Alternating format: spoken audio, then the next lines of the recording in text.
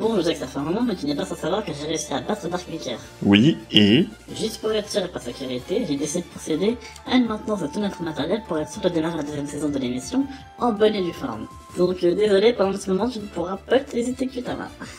Ah, mais je fais comment si on se fait attaquer? Tu sais que sans mettre Kutama, mes autres formes sont juste là pour faire jouer en vidéo. Écoute, la seule menace actuelle, c'est la VS de BBX, et le mal est déjà fait à ce stade, donc euh, on craint rien. Ok, donc cette fois-ci, s'il te plaît, je te demanderai de tester le show de fun. En plus, tu l'as jamais utilisé en vidéo. Moins pas faux. Bon allez, allons-y.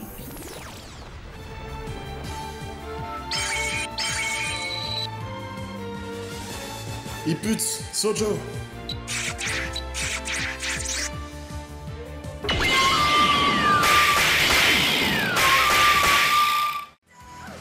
One chance, one chance, so I can, so I can prove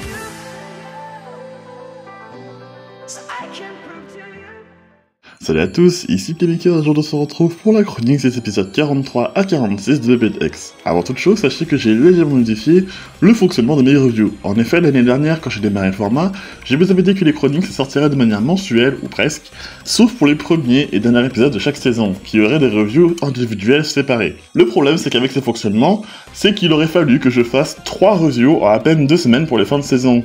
Bah oui, il aurait fallu que je fasse une review pour la fin de saison, le dernier épisode de la saison, puis le premier épisode de la saison suivante. Du coup, le petit changement, c'est que seul le premier épisode de chaque saison aura droit à une review solo, et les épisodes restants de la saison seront traités par pack de 3, 4 ou 5 en fonction de mes disponibilités. Aussi, cette review est l'actuelle avant-dernière review de la saison 1, les épisodes 47 à 51 seront traités tous ensemble dans la chronique finale, suivie de mon avis sur la saison 1. Bref, l'équipe en charge de la VOSTFR de BBX chez BB d'Espace était partie en vacances, du coup j'ai dû regarder l'épisode 43 avec une semaine de retard, mais j'ai pu regarder le 44 juste après dans la même soirée. Pareillement, suite à des empêchements qui sont survenus plus tard, la VOSTFR de l'épisode 45 est sortie avec une semaine de retard, et elle est sortie en même temps que l'épisode 46. Et franchement, c'était une excellente expérience de visionnage. À vrai dire, les épisodes 43, 41 et 45 forment une trilogie d'épisodes centrée sur les origines de chaque membre de la Team Pendragon. Les trois épisodes se suivent extrêmement bien, et on en apprend beaucoup plus par rapport à ce qu'a pu nous fournir le manga, c'est-à-dire pas grand-chose. Mais juste avant de démarrer, petit point sur les noms localisés de certains personnages. En général, je me parle de noms VF des personnages de BBX dans mes recap news. Mais bon, la recap news, je sais pas si j'en fais une ce mois-ci, et si j'en fais une, sortira pas avant la fin du mois, donc faut m'attendre. Donc, Shigeru Nanahiro devient Sigrid Nanahiro, et oui, le prénom Sigrid existe, ça définit quelqu'un de beau, donc ça colle pour, euh, ça colle pour Shigeru. Euh, Bern Fujiwara devient Blaze Fujiwara, pourquoi pas. Et Chrome Ryogu devient Chrome Ryogu, avec un K au lieu d'un C. Et en fait, le K de son nom VF ne vient pas de nulle part. Parce qu'il semblerait qu'on se soit planté sur l'orthographe officielle de son prénom. Depuis le début, on écrit tous Chrome comme ceci, mais son orthographe officielle, c'est ça, Chromu. De la même manière que Exu. Exceptionnellement, je vais rester sur la prononciation française parce que je dis Chrome depuis le début de la saison, mais normalement on devrait dire Chromu, ou alors regarde le Chrome de la VF. Bref. Donc, on démarre avec la backstory de Chrome.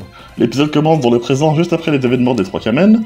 Les Pendragons sont à une conférence de presse pour présenter le nouveau membre de l'équipe, Kamen Z. Ce qui veut dire que même si on l'avait déjà vu avant, il n'était pas encore membre officiel de l'équipe. Ouch. Chrome explique l'avoir recruté en préparation du match au sommet contre les Persona, et une certaine tension s'est fait de la part de Chrome et de Kamen Z quand un des journalistes pose une question concernant le départ d'Exu, survenu plus tôt dans la série. Et sur s'il y a un lien entre Kamen X et Kamen Z. On apprend dans la bouche de Shigeru que Chrome s'est arrangé avec le Clifford pour faire étouffer l'affaire des trois Kamen, et elle annonce à ce dernier que les Persona seront leur prochain adversaire. Retour dans le passé, à l'époque où Chrome n'est encore qu'un débutant. Il combattait déjà avec sa fidèle copain Trek, et il vient d'être sacré meilleur blader amateur. Il est approché par les gérants de l'entreprise Doda Sangyo, qui connaît déjà assez bien, et ils deviendront les sponsors d'une nouvelle équipe, la Team Pendragon, composée seulement de Chrome à ce moment-là. Dans l'anime, c'est des sponsors d'un fabricant de porte-clés. Dans le manga, il s'agit d'un fabricant d'accessoires pour stylos et crayons. La branche en forme de dragon qui possède Chrome dans ses cheveux est en réalité un de ses accessoires qui est offert par Exu. Et le nom de l'équipe est un jeu de mots. Pen pour crayon et Dragon, le motif du leader de l'équipe. Ce n'est que peu de temps après que Exu et Shigeru rejoindront l'équipe, dans cet ordre, mais j'ai parlé de Shigeru un peu plus tard.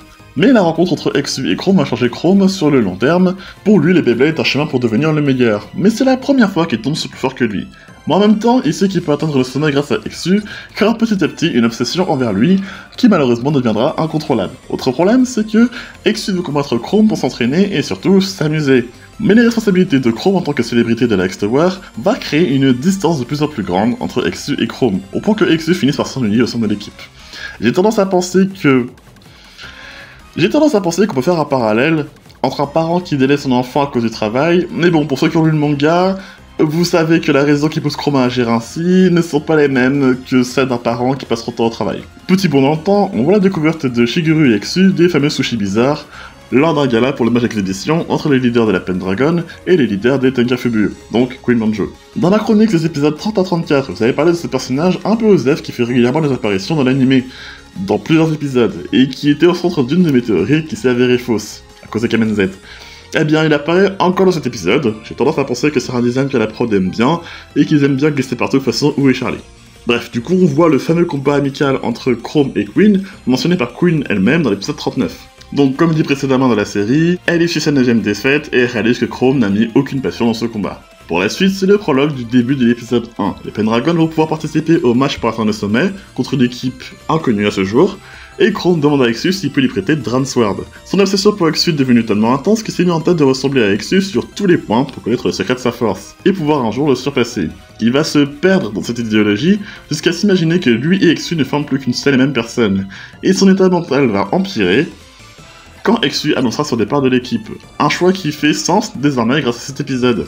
Exu est reparti tout en bas pour remonter au sommet, dans le but de retrouver l'amusement, ou d'essayer de retrouver l'amusement, que lui procurait Chrome quand ils s'affrontaient, et surtout pour pouvoir affronter Chrome à nouveau. En étant son coéquipier, il n'avait quasiment jamais eu la chance d'affronter Chrome, mais s'il devient son adversaire, pas d'échappatoire possible. En plus, si on regarde le tout premier épisode de la série, juste après l'épisode 43, bah les dialogues de Kamen X font totalement sens maintenant. Contrairement à Chrome, Exu n'a jamais vu les Beyblade comme un travail, parce que c'est cet aspect travail qui l'a éloigné de Chrome. On a un léger aperçu de Cobalt et Dragoon, alors que Chrome peut un plomb pour de bon, dans une scène très bien animée.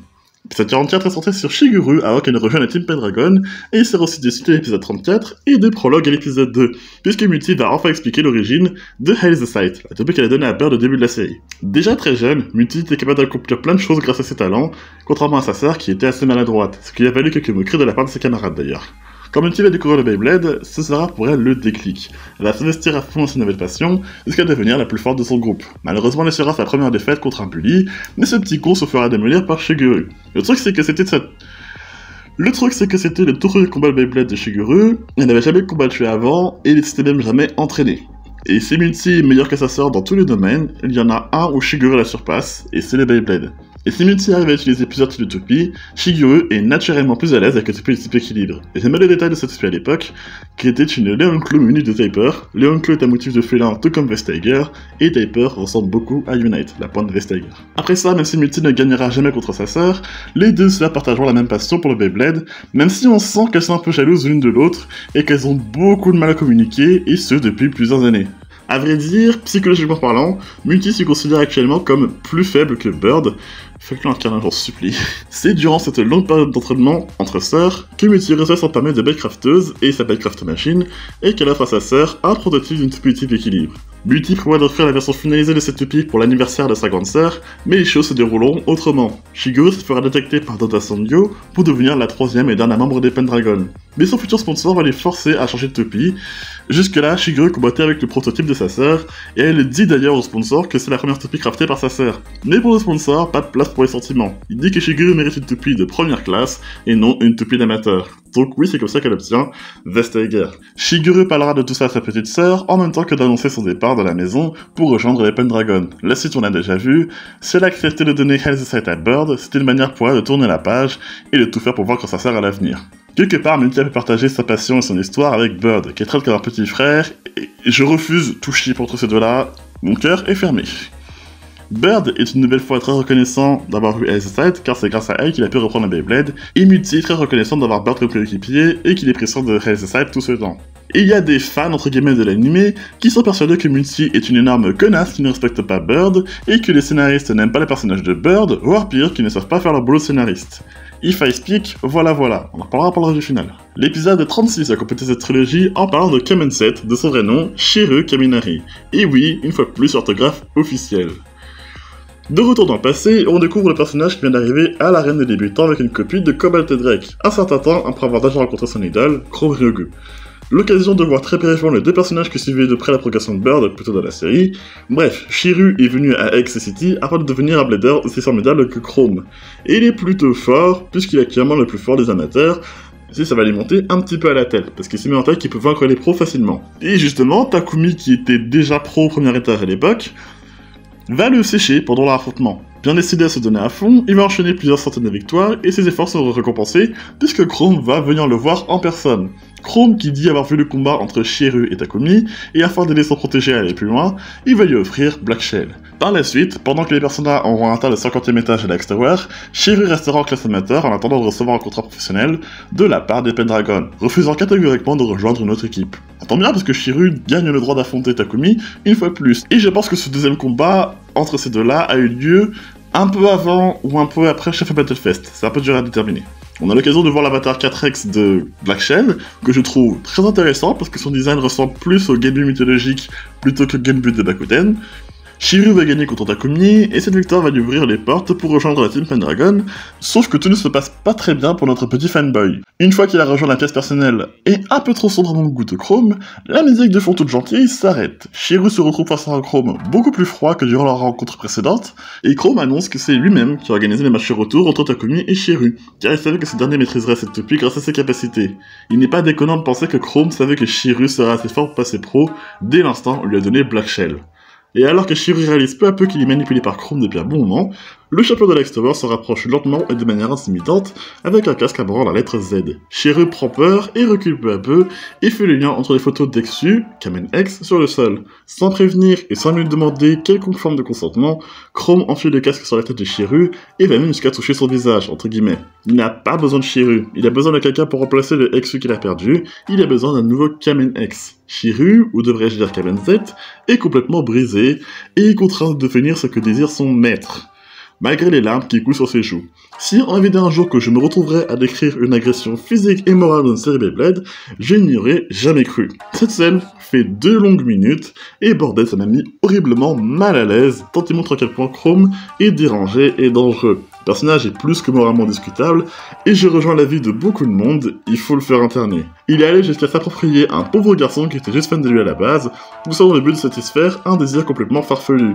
Et le pire, c'est qu'il va par la suite se, entre guillemets, débarrasser de Kamen Z quand il va réaliser que personne ne peut remplacer Exu, hormis lui-même. Donc avec tout ça, pas étonnant que Shiru ait à la fois un complexe d'infériorité et une haine de ouf envers Exu. On ignore si Shigeru est au courant de toute la manigance autour de Kamen Z, mais c'est que Chrome a vrillé depuis un bon moment et que seul Exu peut potentiellement lui venir en aide. L'épisode 47 est centré sur Bird qui retourne dans son village natal pour retrouver ses anciens coéquipiers et prendre du bon temps en attendant la finale contre Pendragon. Pas grand chose à dire sur cet épisode, c'est un épisode feel good pour décompresser les trois épisodes précédents, où on voit qu'il y a tout un village qui suit la progression de Bird, qui les soutient et transmet toutes ses connaissances acquises au fil de la série aux jeunes bladers, et étonnamment, et contrairement à ce que laissaient penser les premiers épisodes de la saison, ses anciens coéquipiers ne l'ont pas lâché et l'encouragent. Je l'ai dit et je le répéterai autant de fois que possible, Bird est un des deux protagonistes de Beyblade X, il est très bien écrit, il reste un des personnages préférés de la série, et je le défendrai envers et contre tout. Bon, bien pour cet épisode. Enfin, pour ces épisodes du coup.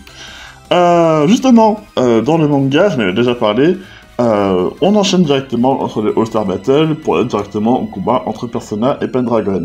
Et, bah, le manga, c'est le problème de, de, durée qui fait que les personnages n'ont pas le temps d'être développés à cause de la limite des pages. Donc, avoir plus de développement dans le dans... Pardon.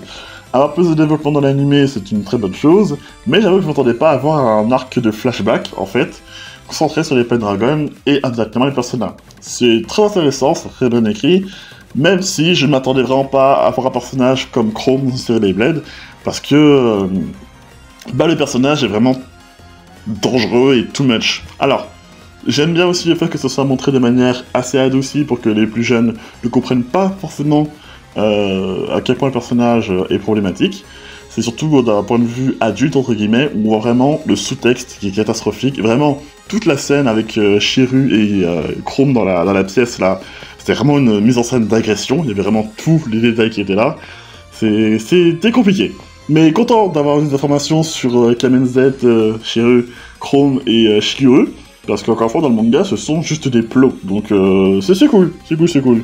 Du coup, pour les 5 épisodes qui nous manquent, euh, on est sur une adaptation partielle, enfin, une adaptation totale du chapitre 14, donc le chapitre où on a les personnages qui sont euh, en train de se préparer pour la finale du lendemain, et l'adaptation chapitre 15 où on verra les combats de la finale, et euh, à voir si entre-temps on a des épisodes, enfin, à voir si entre-temps on a des informations sur la saison 2, on verra bien.